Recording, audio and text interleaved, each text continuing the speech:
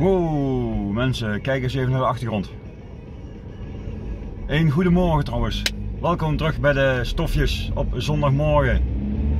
Hmm, nom, nom, nom, nom, nom. zondagmorgen praat. Kijk eens nu even naar de achtergrond. Kijk eens. Bos, bomen. ja, ik ben weer geweest. Ik ben weer in het bos geweest. Uh, moet er wel even bij zeggen, natuurlijk, na zo'n lange tijd gaat het niet weer in één keer helemaal van jatje natuurlijk even op moeten letten. Ik heb dus steeds toch wel wat van mijn voet gevoeld. Maar goed. Ehm, daarmee is er oh, waarschijnlijk nog een probleem. Maar die zal ik daar wel tegenkomen. Uh, daarmee heb ik wel maar twee rondjes gelopen. Maar goed, het begin is er. En dat is belangrijk. Dat is belangrijk ook voor mezelf, dat ik, uh, dat ik toch weer begonnen ben om in het bos te gaan lopen. Ja.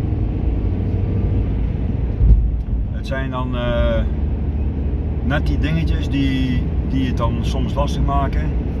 En dat is nou ook, ik, moet weer, ik merk gewoon dat ik weer helemaal, wij spreken van, van vooraf aan moet, uh, moet aanvangen om weer dat ritme te krijgen. Om uh, weer onverhard te gaan blijven lopen. Dat je toch moet concentreren op waar je voeten neerzet dan natuurlijk toch ongemerkt dat je met, met die voet bezig bent nog steeds.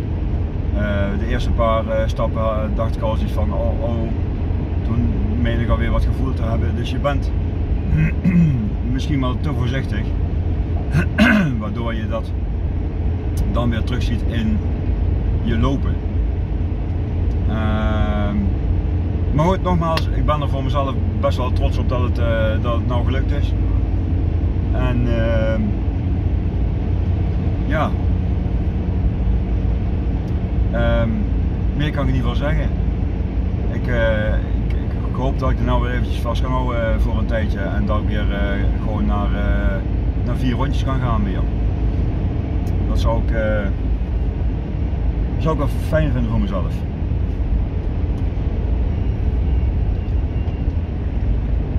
Mm. Zo, dan rijden we ook even door naar de fitness. Want uh, ook die wil ik vandaag even aandoen. Nog even een rondje doen, een klein rondje, niet te, niet te, veel. Want uh, ja, ook daar moeten we rustig aan gaan doen. Maar goed, komt goed.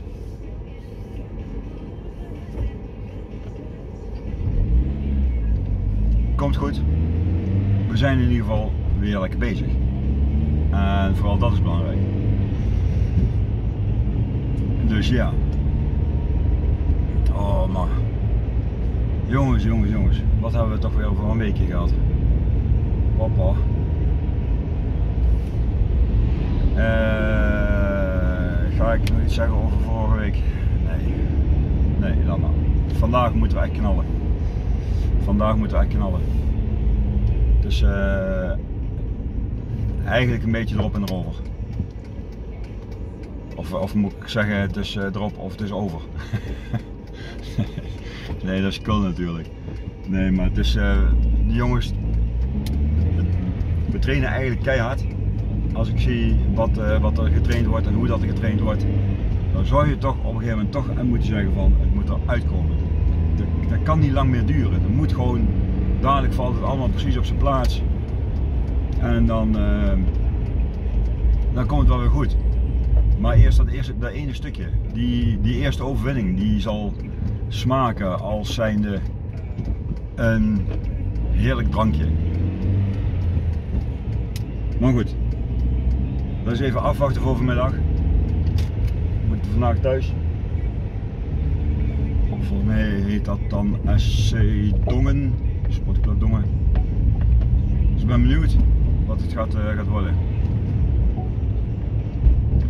En uh, ja, meer dan dat kan ik niet zeggen. Ik, uh, ik ja, laat maar. Komt goed. Oh. Nou, we zijn er bijna bij het sporten. gaan we eens even een paar paar gewichtjes aan een paar gewichtjes trekken en duwen, en doen. Zeg niet te lang, gewoon een kort, kort stukje. En dan hebben we zondag qua sporten echt eigen sporten, zelf sporten. Gaan we er dan op zetten. Dus, nou, dan zou ik zeggen, huppakee, dan gaan we de auto eventjes parken. Zo, die staat. En dan uh, ga, ik, uh, ga ik afsluiten. Dan zeg ik, uh, een beetje bedankt voor het kijken. Dat is een, ik wil niet zeggen een chaotisch, maar een beetje weer even een hele andere dan die we gewend waren van lange tijd terug. Maar het was wel weer lekker. Nogmaals, ik vond het, uh, ik vond het gewoon, uh, gewoon weer lekker om, uh, om weer te lopen in het bos. En dat is fijn. Dat is gewoon fijn. Ik merk dat dat gewoon heel erg lekker is. Als je op de loopband zit, dan is het natuurlijk heel vlak. Dan heb je eigenlijk bijna geen belasting op je, op je knieën op je heupen en op je voeten. Dat ding dat draait maar door. En je gaat naar aanleiding van die snelheid ga je lopen. Nu moet je je hele eigen tempo bepalen, je eigen snelheid, je eigen voeten die je neerzet. Het gewicht wat je mee moet nemen. Ook dat speelt natuurlijk een beetje parten. Ja, dat is ook nog niet helemaal uh, je van het, wat ik, wat ik eigenlijk wil. Uh, dus ja, er zijn zo van die dingetjes die, die er nog een beetje als een uh, rode draad doorheen lopen. Om weer uh, fatsoenlijk fit te worden. En dat klinkt dan even raar, fatsoenlijk fit. Ik moet natuurlijk ook in de gaten houden, ja, ik ben natuurlijk wel al 57. Uh, maar ik heb, ik heb geen, geen, geen maat waar ik bij spreken sta vanwege mijn leeftijd. Fysiek gezien. Ik denk dat ik nog meer kan dan wat ik nu heb. Uh, dus ja, daar moet ik aan proberen te werken. Voor mezelf. Maar goed. Uh, daar ben ik zelf verantwoordelijk voor. Um, ja, dat is het. Dus.